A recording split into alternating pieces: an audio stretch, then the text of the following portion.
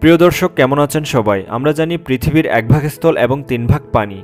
আর এই বিশাল পানির নিচে রয়েছে আমাদের স্থলভাগের মতোই বিচিত্র প্রাণীদের জীবনযাত্রা। সমুদ্রের সিংহভাগ প্রাণী এখনও আবিষ্কার করতে পারেনি মানুষ। কিন্তু কৌতূহলী মানুষ থেমে থাকেনি। এই অজানা জগতের রহস্য ভেদ করতে সমুদ্রের তলদেশের গভীরে ডুব দিতে আছে মানুষ। ইতিমধ্যেই রহস্যভরা নানা প্রাণীর আবিষ্কারও করে ফেলেছে তারা। যাদের মধ্যে আছে কারও আলো জ্বালানোর শক্তি কিংবা কারও শালক সংশ্লেষণ করার ক্ষমতা। আজকের পর্বে আমরা এরকম মাত্র চারটি প্রাণীর সম্পর্কে জানব। চলুন ঘুরে আসি সমুদ্রের তলদেশ থেকে।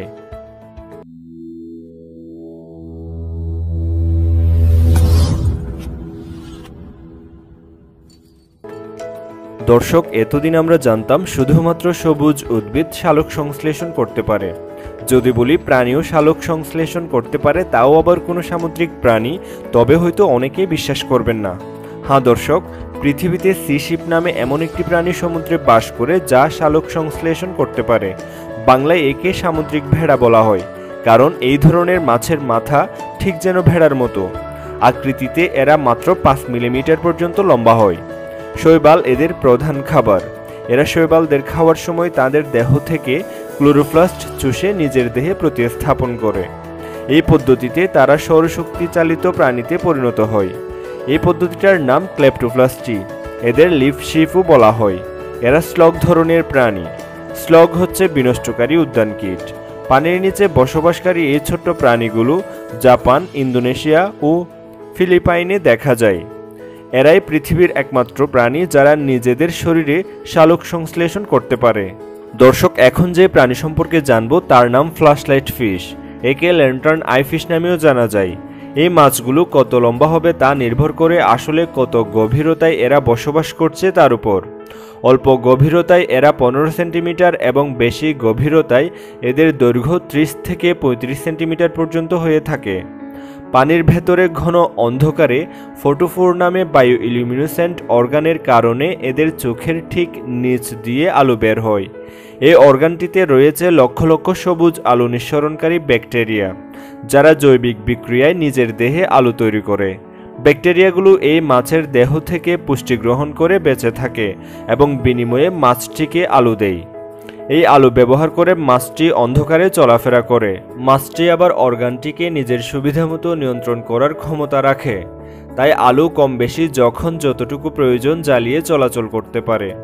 এরা আবার সামুদ্রিক নিশাচর প্রাণীও বটে। কারণ দিনের বেলায় এরা লুকিয়ে থাকে এবং রাতে চলাচল ও খাবারের খোঁজে বেরিয়ে পড়ে। আলু থাকার কারণে ছোট মাছ সামুদ্রিক পোকা আলু দেখে ছুটে আসে এবং ফ্লাশলাইট ফিশ তাদের খাদ্য হিসেবে গ্রহণ করে। তাই খাবার শিকার করতে বেশি পরিশ্রমের প্রয়োজন হয় না।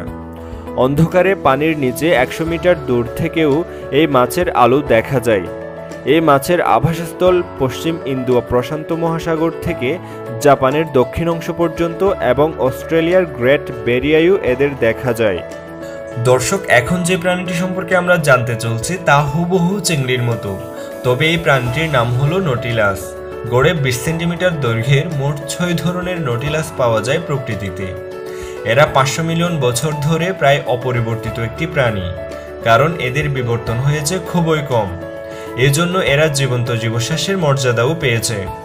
এদের দেহ খুব চমৎকারভাবে পেঁচানো খোলসে আবৃত থাকে।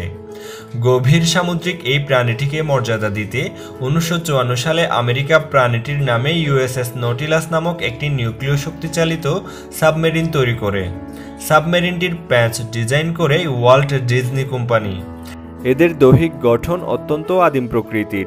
বিশেষ করে এদের চোখের গঠন পিনহোল টাইপের অত্যন্ত সরল। নটিলাসরা ডিম পাড়ার জন্য সমুদ্রের তলদেশ থেকে অল্প পানিতে উঠে আসে এবং ডুবে থাকা পাথরের গায়ে ডিম পাড়ে। এই ডিম ফুটে বাচ্চা বেরোতে আট থেকে বারো মাসের মতো সময় লাগে। এদের গড় আয়ু বিশ বছর। নটিলাসদের পাওয়া যায় ইন্দো প্যাসিফিক অঞ্চলে। এরা বাস করে সমুদ্রের তলদেশে কোরাল রিফগুলোতে।